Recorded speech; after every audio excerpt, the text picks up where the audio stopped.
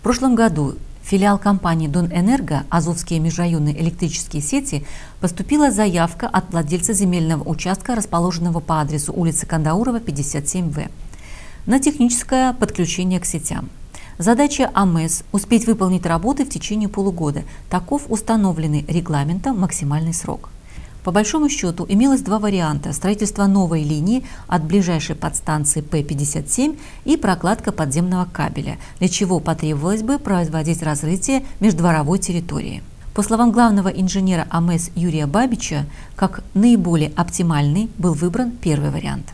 Так как э, эта подстанция находится внутри всех дворовых территорий, принадлежащих собственникам многоквартирных домов, э, в это, и при межевании земельных участков не было предусмотрено э, ну, то есть не были предусмотрены интересы третьих лиц, в том числе и наших, Э, которые у нас, кроме подстанции, здесь еще сети есть кабельные, которые электроснабжают дома. Не были предусмотрены технические коридоры для дальнейшего, как говорится, развития и строительства. Поэтому нами было принято самое такое оптимальное решение по строительству и подключению этого потребителя, использовав существующую уже линию электропередач, построив новую. Однако собственники дома номер 57 возмутились установкой опоры на их придомовой территории тем более без какого-либо согласования.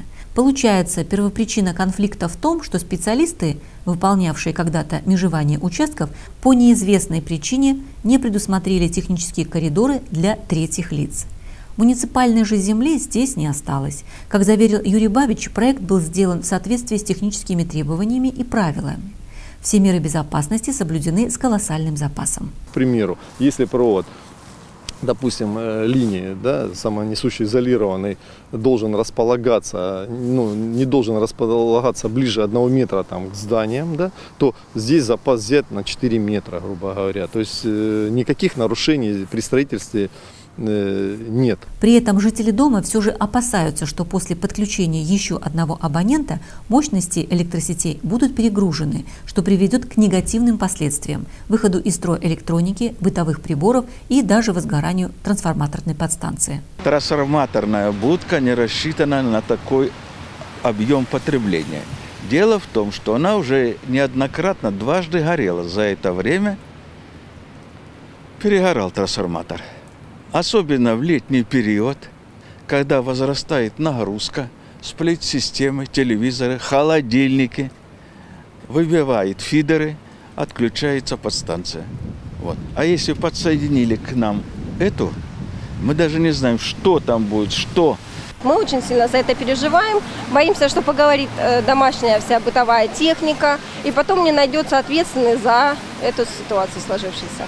Как пояснил главный инженер, имеющийся запас мощности делает подобные опасения безосновательными. Трансформаторная подстанция номер 57, э, находящаяся внутри двора, дворовых территорий, э, имеет два трансформатора, два трансформатора и загруженность этих трансформаторов составляет 50% каждого.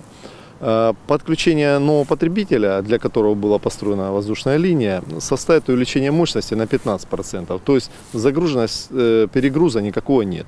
Производится плановое обслуживание подстанции. Работники предприятия регулярно делают осмотры и замеры, а выявленные неисправности своевременно устраняют. За 2020 год э, по техническому обслуживанию она была отключена всего лишь на 2,5 часа.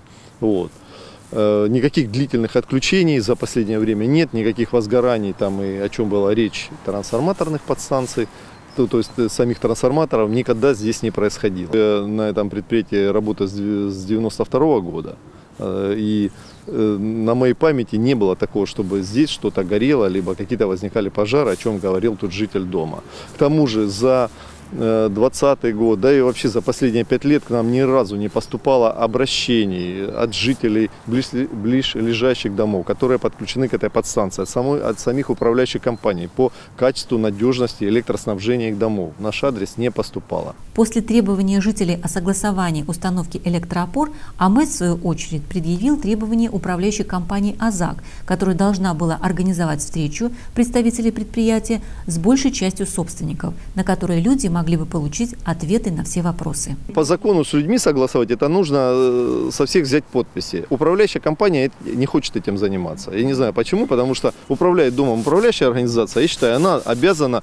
э, вести вот эти все ну, переговоры, процедуры с э, жителями дома. Никак не сетевая компания. Ну, сейчас на данный момент ведутся э, у нас э, переписка, переговоры с управляющей компанией, э, чтобы... Да, не, э, компания «Азак», управляющая компания «Азак». Э, вот. Ну, в случае недостижения э, ну, согласия в этом направлении, то мы вынуждены будем все решать в судебном порядке. Таким образом, пока вопрос находится в стадии решения, сотрудники АМС взаимодействуют с собственниками дома номер 57 через управляющую компанию. По словам Юрия Бабича, общее собрание назначено на 2 марта. Людмила Улихина, Татьяна Иващенко, Алексей Покатила, Азов Инфо.